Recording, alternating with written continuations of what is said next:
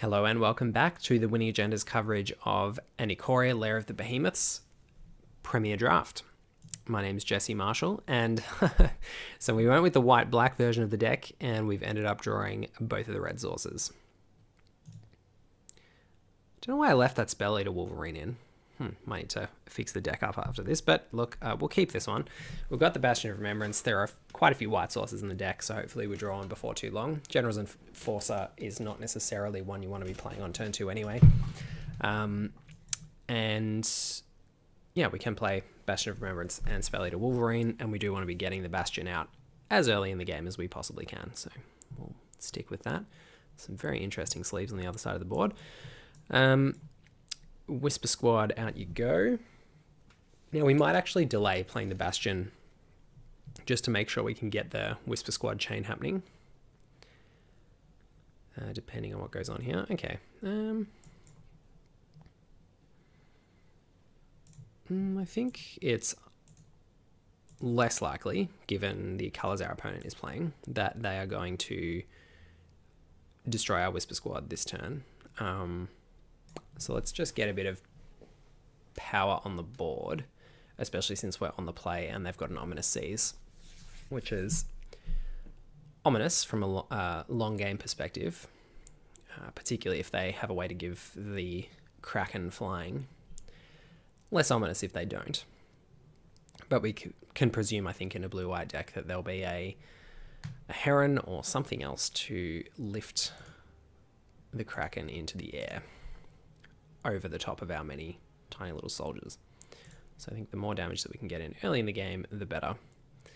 Uh, so they haven't got um, mana, um, so I'm just going to play the Bastion of Remembrance because I don't want to walk into an Essence Scatter with Grimdancer. I'd much rather play that when they're tapped out. And I think it's now getting to the point for them where, given we've got the Heartless Act, um, they might be a little far behind. Okay. Um, we can both fetch a Whisper Squad and play this Whisper Squad.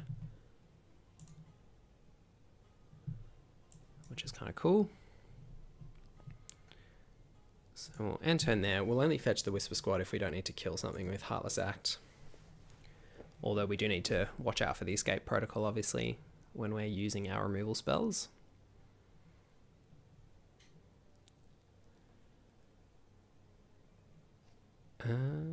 Cool. Well, Patagia Tiger is one that we can deal with. Kind of looks a lot like the creature on this card, doesn't it? I think it might actually be. Oh, there you go.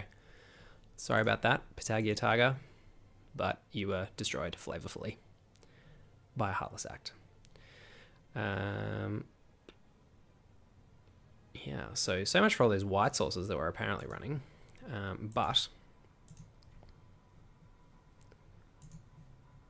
in any event, we get to do a little bit of damage. Um, and I guess we might as well just jam this out there. Uh, we'll go with Lifelink Menace. Sounds good. Cool. GG. Well, that's one game down. We'll um, possibly reevaluate whether we want to play that Spelleater Wolverine still, given that we're only playing two red sources, both of which we drew.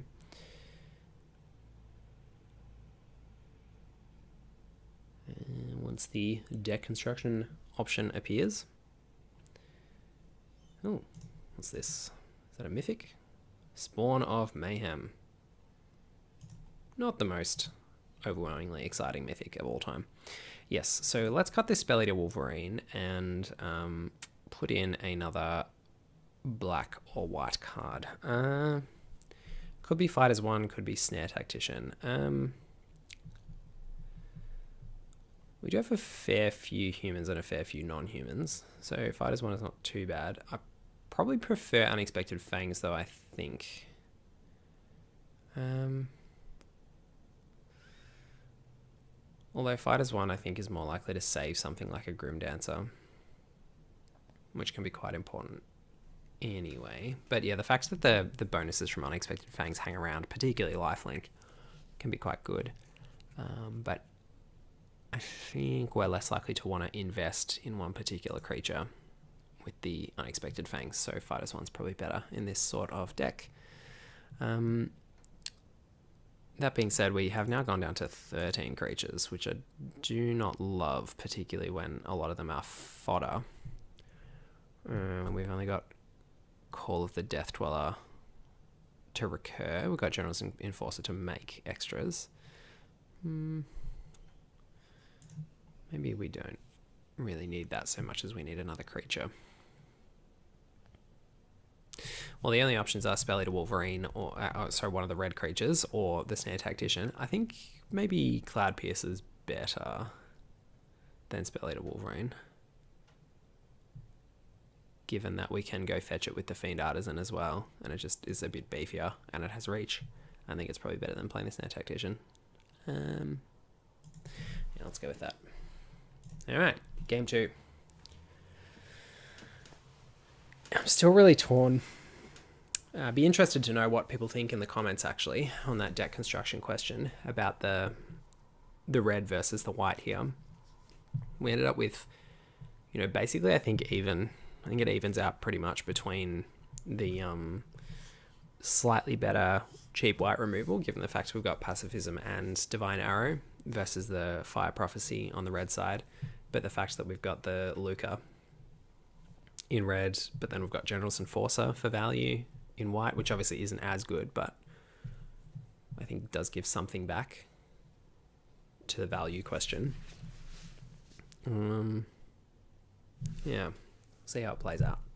If we feel like we're lacking in fatties, um, or that you know our games are often working out that we're getting whisper squads which could gum up the board to allow us to go off with Lukka, then yeah, maybe maybe we do bring Lukka back in.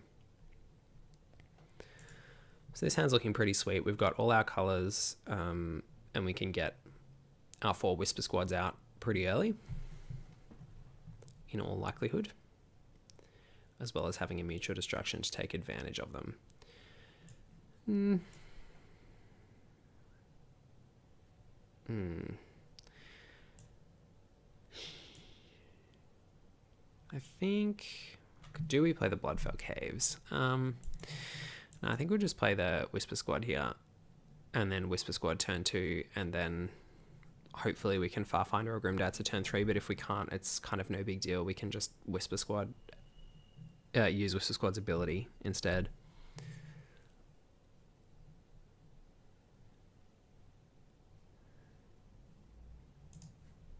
All right. Lord Steelix has a very similar deck to what we've brought along. Um, so we'll get rid of that General's Enforcer before Lord Steelix has an opportunity to do us too much damage with it. But this time we're going to just use Whisper Squad's ability. So no attacks in the turn. Uh, and then next turn... The other option there was to play the Bloodfell Caves and play the second Whisper Squad maybe that was better. Um, but if we get suffocating fumes, it's pretty miserable at that point. Um, pass to attackers. But our mana is a little awkward. Oh, no attacks. Okay, interesting.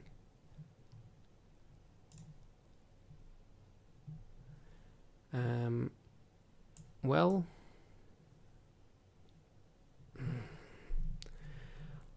although no, I'm too I'm too scared of suffocating fumes. I'm just gonna play this. Um, since our opponent didn't attack last turn, we're under no pressure, and we have this mutual destruction to deal with the enforcer, and they missed a land drop last turn, so I'm not too fast. We can also play Farfinder next turn, grab a swamp, and then play mutual destruction. So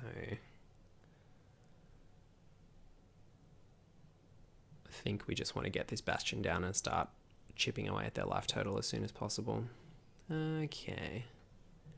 Well, well, well. We'll just take the beats here because we are going to be regaining a little bit of life from our bastion throughout the game. So I think we can probably take a beat for now. Uh, so let's make sure that we play the Farfinder, grab the Swamp, because killing either the King Caesar or the General's Enforcer is going to be good this turn. I think we'll kill the Enforcer just for the long game. Um, so we'll make sure we get in there first, though. Uh, we'll play this. We'll go to combat, all attack. And then we'll mutual destruction. Um, yeah, I'm kind of happy to let King Caesar just run around being a giant dork for a while.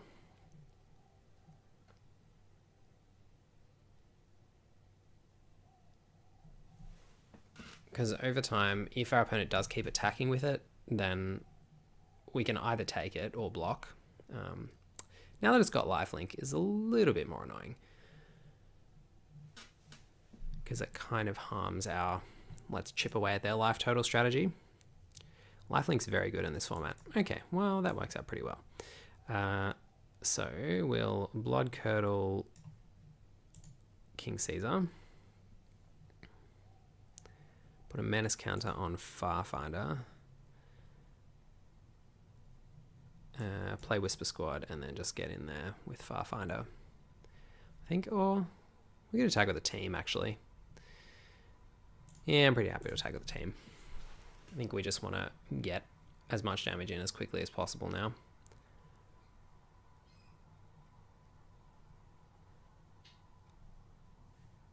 And we'll have Grimdancer next turn. Which in black white, I think probably has access to the most removal um, of all the colors. So we're expecting to see a little bit of removal from our opponent like that. Um, but if we can get the Grimdancer to stick on the board, that will be excellent. Okay. Well, we don't get to go and fetch Whisper Squad number four, but we do get to play Grimdancer. Give it, I'm going to do this post combat, but I just cannot be bothered. Um, give it Lifelink and Menace and then get in there with the Whisper Squads and kill this Duskfang Mentor, hopefully. I mean, they could have a trick. Let's see. Nope. Cool. So unfortunately, that three life that they gained from the King Caesar does put us in a little bit of an awkward spot because we're off the top now and, well, yeah. Okay. Let's just get in there. They missed a lot of land drops here. And speaking of us being in an awkward spot, they are definitely in an awkward spot. Um, we'll just play out the Cloudpiercer. We don't want to be going more all in on this Grimdancer than we already are. Because if they play a fourth land and then were to um, Bloodcurdle the Grimdancer, after we'd Cloudpiercer mutated onto it, that would be pretty miserable. We also didn't want to hold back the Cloudpiercer just to um, try and discard a land, loot away a land next turn. Um, I think getting it on the board is another threat, given the state of the game was pretty important since they are mana screwed, but will recover at some point in the next couple of turns, presumably. Tempo is quite important.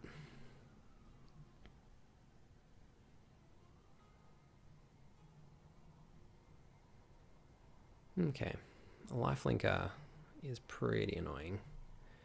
So there's that land that we could have gotten rid of.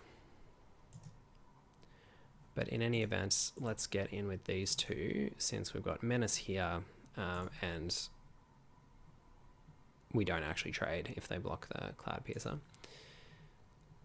So get a five. Um, they could have a mutator to get multiple cubs, which would be pretty frustrating. We're going to hold on to this because I think... Oh, we no, we took out the Cathartic Reunion because we took out most of our red cards. Um, but we do get to get another Whisper Squad at least.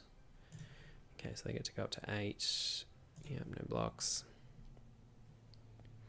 If we had a way to sacrifice, that would be awesome because we could deny the lifelink, but no bushmeat poacher, unfortunately. Uh, pass to damage.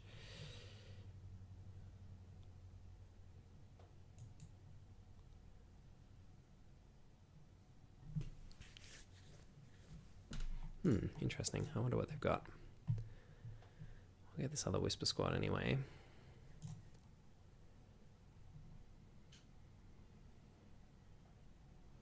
Um, and go to our turn. Alright, unfortunate, but hopefully we can outpace that Cubwarden. It's going to get pretty awkward if they draw a Mutator. Presumably they're going to kill either or both, one or both of our big creatures. Okay, so the Cubwarden's getting Menace, but they're going to one.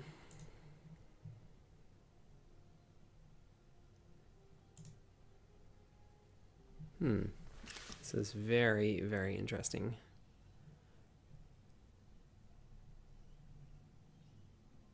Will they attack? Well, they kind of have to, because unless they can kill the Grimdancer here. Which again, you know, white, black, the colors of removal. Is it pacifism, divine arrow, more Bloodcurdles, more dead weights?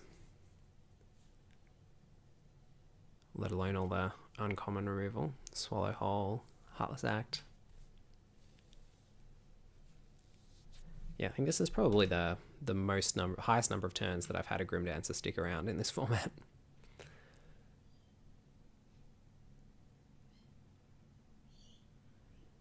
This Bastion of Remembrance with the kind of full bleed look, it's very nice looking.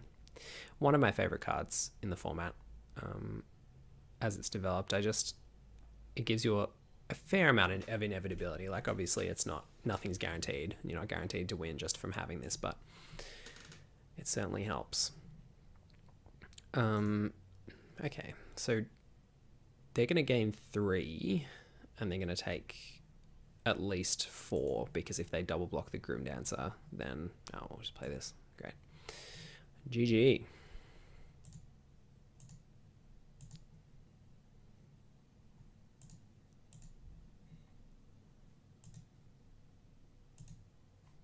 Uh, she's an artifact. Yeah, yeah, cool. Anyway, uh, so Mythos of Snapdax worked out well. We would have won anyway from attacking, but, you know, it's nice to play your rares when you draw them. So, that takes us to two wins, no losses. We'll be back shortly with another video of the rest of the draft. Hope you enjoyed. I've been Jesse Marshall for the Winning Agenda. Cheers.